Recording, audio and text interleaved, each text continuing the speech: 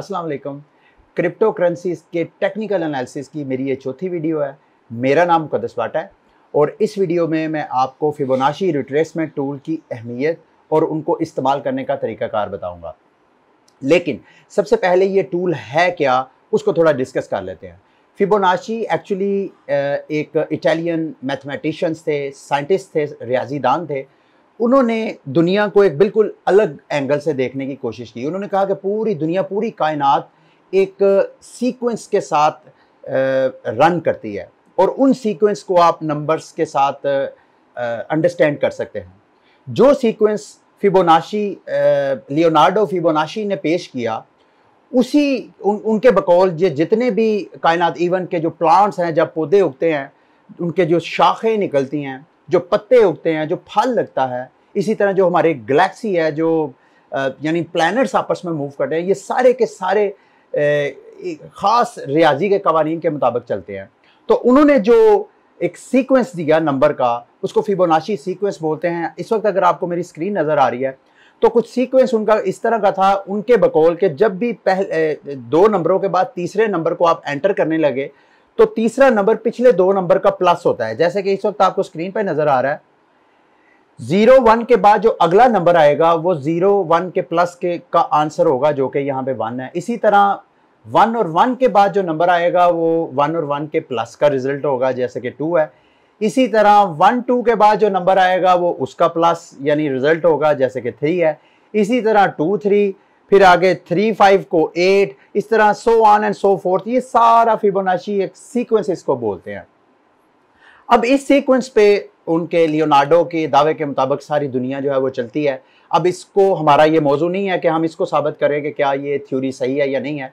लेकिन जो ट्रेडर्स थे, उन्होंने इसके इस फार्मूले को अपने ट्रेडिंग के दौरान यूज़ करना शुरू किया और वो इतना पॉपुलर हो गया मैं आपको ये कहूँगा कि टेक्निकल एनालिसिस में जहाँ ट्रेंड लाइन और सपोर्ट और रेजिस्टेंस की बहुत अहमियत है, इसी तरह फिबोनाशी रिट्रेसमेंट टूल का इस्तेमाल इंतहाई अहम है, क्योंकि जब भी आपने मार्केट में पोजीशन लेनी होती है एंट्री या एग्जिट करनी होती है, या इसके अलावा आपने अगर ऑलरेडी ट्रेड लगाई है तो आपने ये देखना है कि कौन कौन से टारगेट्स पे आपको प्रॉफिट निकाल लेना चाहिए, या अगर आप लॉस में जाते हैं तो स्टॉप लॉस स्टॉप लॉस किस पॉइंट पे होना चाहिए तो उसके लिए ये फिबोनाशी रिट्रेसमेंट टूल बहुत अहमियत रखता है।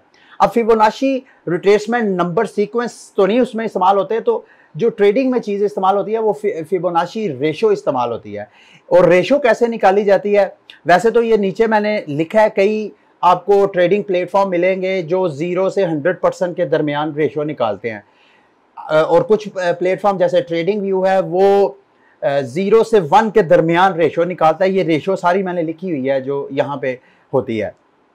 अब रेशियो निकालते कैसे हैं? इनमें से कोई ऊपर जो मैंने नंबर लिखे हैं सीक्वेंस कोई एक नंबर ले लें। फॉर एग्जांपल मैं 144 को लेता हूँ। उस 144 को पहले मैं 144 पे डिवाइड करूँगा तो आंसर आएगा ओबियसली वन इसी तरह 144 का पिछला नंबर कौन सा है? 89 जब 89 को मैं 144 पे डिवाइड करूँगा तो ये मेरे पास कैलकुलेटर है। ये देखिएगा आंसर 89 डिवाइडेड बाय 144 तो आंसर क्या आया?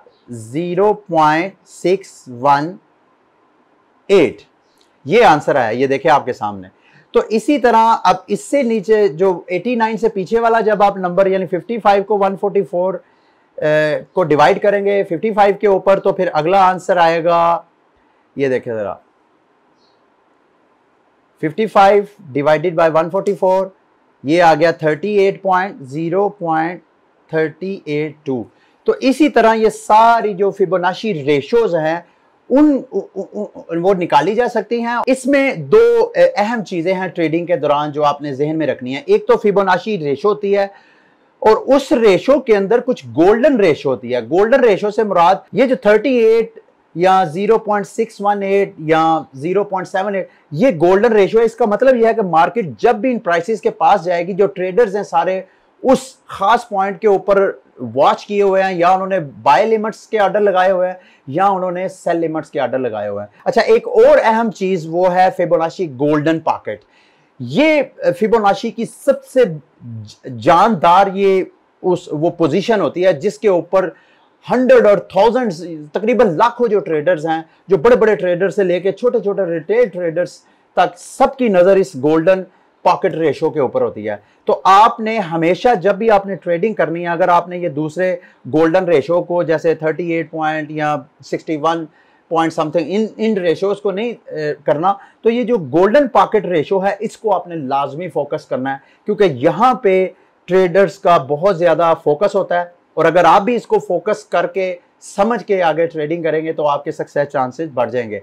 फिबोनाशी रिट्रेसमेंट टूल को यूज़ कैसे करना है? अब मैं वो आपको गाइड करता हूँ। इस वक्त अगर आपको मेरी स्क्रीन नज़र आ रही है तो बाइनास के ट्रेडिंग पेज के ऊपर हूँ और जो मैंने पेयर खोला हुआ है, वो B T C U S D T है।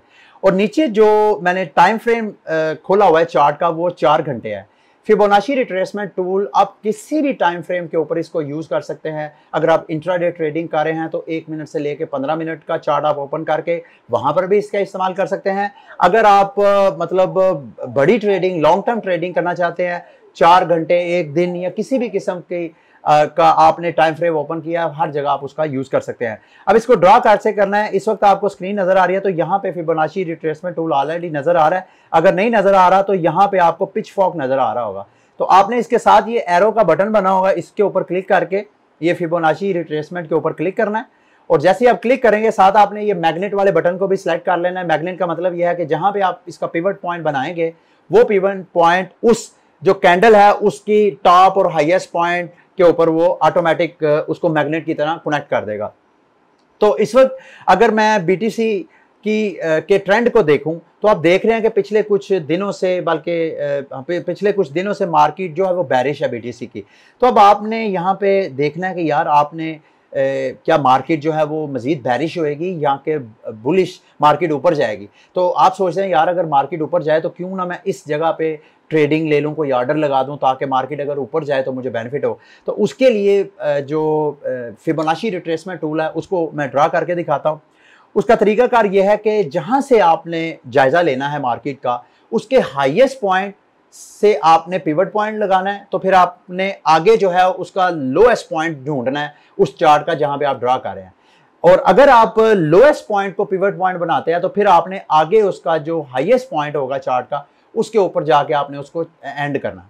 तो अभी मैं आपको स्क्रीन पर नज़र आता हूँ क्योंकि मैंने बेरिश यहाँ पे बीटीसी का मूड देखना है कि वो किस तरह मार्केट बिहेव कर करेगी। तो उसके लिए हाईएस्ट पॉइंट मुझे यही नज़र आया, यहाँ से मैं पिवट पॉइंट ड्रा करूँगा।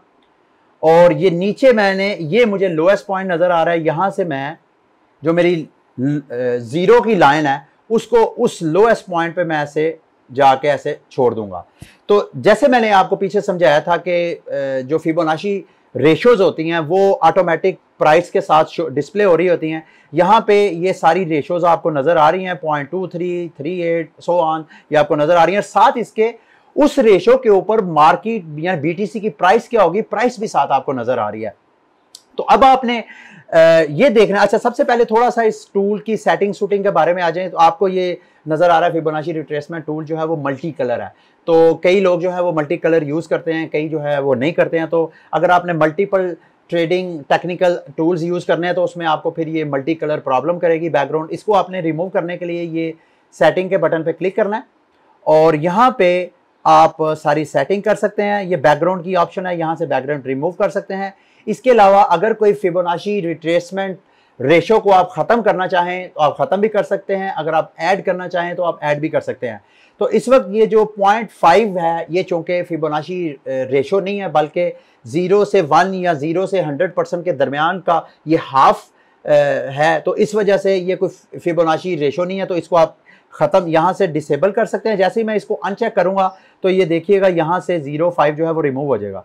ये देखिए, हो गया ना रिमूव अब मैंने चूँकि एक गोल्डन पॉकेट आपको बोला था कि वो 0.618 और 0.65 के दरमियान होती है तो वो गोल्डन रेशो ऐड करने के लिए 0.65 और इसको मैं दोबारा इनेबल करूँगा तो यहाँ पे वो गोल्डन जो पॉकेट है फिबोनाशी की, वो जनरेट हो जाएगी। इसके बाद आप कलरिंग वगैरह सारा कुछ कर सकते हैं।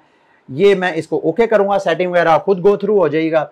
अच्छा अब यहाँ पे चूँकि मैंने आपको कहा था कि फिबोनाशी रिट्रेसमेंट टूल में गोल्डन रेशोज होती हैं।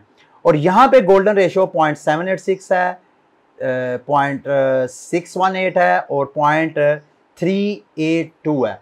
अब इसको देखते हैं कि मार्केट में इसका जायजा लेते हैं कि मार्केट ने कैसे बिहेव किया है। यहाँ पे मैंने टॉप पॉइंट पे ड्रा किया और जैसे ही ये देखें, ये मार्केट यहाँ से नीचे आई और पॉइंट सेवन एट सिक्स की इसने रिस्पेक्ट की, इसको एज अ सपोर्ट लिया और फिर मार्केट ऊपर चलेगी जैसे ही ऊपर, मैंने आपको बताया था ना, इन पॉइंट्स के ऊपर जो ट्रेडर्स हैं, वो फैसला करते हैं कि यहाँ पे उन्होंने क्या करना है, क्या उन्होंने प्रॉफिट लेके मार्केट से एग्जिट हो जाना है या यहाँ पे एंट्री लगानी है। तो यहाँ पे आपको नज़र आ रहा है, जैसे ही market point seven eight six की वैल्यू के ऊपर आई तो ट्रेडर्स ने यहाँ पे जिन्हों जिन्होंने ऑर्डर लगाए हुए थे, उन्होंने सेल ऑफ़ कर दिया और जिन्हों जिन्होंने वेट कर रहे थे, उन्होंने बाय लिमिट के यहाँ पे ऑर्डर लगाया तो मार्केट यहाँ से फिर रिवर्सल होगी अब देखें, फिर नीचे आके ये वाली जो पॉइंट जिसने ब्रेक किया उससे पहली देखें आप कैंडल उसमें भी उन्होंने इस वाली जो पॉइंट सिक्स एट सिक्स वाली रेशो है, इसकी रिस्पेक्ट करके ऊपर गई है मार्केट और जैसे ही मार्केट ने इसकी रिस्पेक्ट इस रेशो को ब्रेक किया है, आपने देखा मार्केट फिर अगले रेशो की जाने बढ़ गई है। और यहाँ पे ये वाली जो रेशो है point six one eight Fibonacci ratio देखें यहाँ मार्केट ने उसकी कितनी रिस्पेक्ट की है। ये वाली कैंडल भी यहाँ पे आई है तो वापस हो गई है। फिर ये वाली कैंडल इसने ब्रेक किया है, लेकिन वापस आ गई है। इसकी जो क्लोजिंग हुई है, वो इस रिट्रेसमेंट के ऊपर हुई है। फिर आगे ये सारी देखिए रिस्पेक्ट हो रही है। और जैसे ही मार्केट ये देखें यहाँ पे मार्केट नीचे आई, यहाँ से इसने ब्रेक किया और फिर यहाँ पे एक नई कैंडल तो इस तरह ये जो फिबोनाशी रेशोज होती हैं इन रेशो को रिस्पेक्ट करते हुए ट्रेडर्स जो हैं, वो बाय लिमिट्स लगाते हैं सेल लिमिट्स लगाते हैं, अपने स्टॉप लॉस को डिसाइड करते हैं, अपने टेक प्रॉफिट्स को डिसाइड करते हैं। तो अब इसमें मैं बताता हूँ कि फॉर एग्जांपल अगर मैंने ट्रेड लगानी है तो मुझे सबसे पहले क्या करना चाहिए? मार्केट का जो मुझे ट्रेंड नज़र आ रहा है, वो तो है बैरिश अब यहाँ पे जो मुझे फिबोनाशी रिट्रेसमेंट बता रही है, कि यहाँ पे पॉइंट टू थ्री वाली जो लास्ट रेशो है उसको भी मार्केट ने ब्रेक कर दिया तो इसका मतलब यह है कि मार्केट यहाँ से मजीद नीचे जा सकती है। तो अभी हमने इस वाली कैंडल ने चूँकि ब्रेक कर दिया है तो इस कैंडल का हम वेट करेंगे। जैसे ही ये कैंडल क्लोज होएगी तो उसके बाद अगली कैंडल में हम ट्रेड लगा सकते हैं कि भाई अगर तो मार्केट इससे नीचे ही अगली जो कैंडल है वो स्टार्ट होगी तो इसका मतलब यह है कि मार्केट टेक्निकली देखा जाए तो मार्केट मजीद इससे नीचे जाएगी, और वो मजीद नीचे उसने ज़ीरो की तरफ़ का सफ़र शुरू कर दिया। तो आप यहाँ पे इससे अगली कैंडल पे सेल का लिमिट लगा सकते हैं, लेकिन चूँकि मार्केट टेक्निकल्स के ऊपर ही नहीं चलती, यहाँ पे फंडामेंटल्स बहुत मैटर करते हैं। अभी कोई ना कोई न्यूज़ आ जाए, कोई चाइना की तरफ़ से, कोई ईरान की तरफ़ से, इटली की तरफ़ से, भारत की तरफ़ से, अमेरिका की तरफ़ से जैसी कोई न्यूज़ आती है या इलन इलान मस जैसा कोई बड़ा बिजनेसमैन कोई स्टेटमेंट देगा तो एकदम मार्केट जो है या तो ऊपर चले जाएगी या नीचे जाएगी। ये जितने टेक्निकल चीज़ें हैं, ये सारी फारग हो जाएगी। तो इसके साथ साथ आपने सारा ये पीछे मार्केट की जो हिस्ट्री है, उस पर आप सारा ड्राइंग करके फॉर एग्ज़ाम्पल ये अप ट्रेंड है, इस पर मैं एक छोटी सी एक और प्रैक्टिस करके आपको दिखा देता हूँ। यहाँ से अप ट्रेंड में यहाँ लोएस्ट पॉइंट ये है, इस पर मैंने पिवट पॉइंट ड्रा किया और जो हाईएस्ट पॉइंट है, यहाँ पे आके मैंने इसको छोड़ दिया। अब यहाँ पे देखते हैं कि मार्केट ये देखें, यहाँ से मार्केट ऊपर जा रही है और जब तक इसने पॉइंट सेवन एट सिक्स को ब्रेक नहीं किया, उस वक्त तक मार्केट उसकी रिस्पेक्ट करके नीचे आ रही है। जैसे ही ब्रेक किया है मार्केट उसके बाद देख रहे हैं, अगले सफ़र की तरफ़ चले गई है। तो इसी तरह ये देखें मार्केट बिल्कुल उस रेशो के ऊपर नीचे ऊपर नीचे होती जा रही है। जैसे ही उस रेशो को भी ब्रेक किया मार्केट फिर ऊपर जाना शुरू हो गई है। और यहाँ पे आप देखें मार्केट ने उसको ब्रेक किया है, लेकिन जब उस कैंडल की क्लोजिंग हुई है, उस चार घंटे वाली कैंडल की तो मार्केट उस रेशो से नीचे थी। तो इस वजह से चूँकि मार्केट ने उसको ब्रेक नहीं किया तो इसी रेशो के नीचे रही है। जहाँ ब्रेक किया है, यहाँ ब्रेक किया, फिर ऊपर चले गई है। ट्यूटोरियल को एंड करने से पहले जो फिबोनाशी गोल्डन पॉकेट है, उसके बारे में भी आपको बताता चलूँ। ये देखें, ये यहाँ पे मैंने ड्रा किया है और जैसे ही मार्केट ने इस पॉकेट को ब्रेक किया है तो मार्केट जो है वो ऊपर जाना शुरू हो गया है। और इसी तरह जब मार्केट नीचे आई है तो जैसे इस गोल्डन पॉकेट को ब्रेक किया तो मार्केट फिर ऊपर नहीं गई, बल्कि नीचे आ गई है। तो ये गोल्डन पॉकेट की बहुत अहमियत है। आपने जब भी फिबोनाशी का इस्तेमाल करना है तो गोल्डन पॉकेट के ऊपर लाजमी आपने नज़र रखनी है। गोल्डन पॉकेट के ऊपर नीचे ही आपने बाय लिमिट और सेल लिमिट लगाने हैं। ठीक है, ये मेरी फिबोनाशी रिट्रेसमेंट से मुतलक वीडियो थी। उम्मीद करता हूँ कि आपको इसकी समझ आ गई होगी। लेकिन अगर ये सारी इन्फॉर्मेशन जो मैंने आपके साथ शेयर की है, ये नाकाफ़ी है तो आप फिबोनाशी रिट्रेसमेंट के ऊपर यूट्यूब में और दो चार वीडियोस देखें और जितनी आपको इस टूल की समझ आएगी, उतनी ही आप बेहतरीन और प्रोफेशनल किस्म की ट्रेडिंग कर सकेंगे। अगली वीडियो तक के लिए मुझे इजाज़त दें। Allah Hafiz.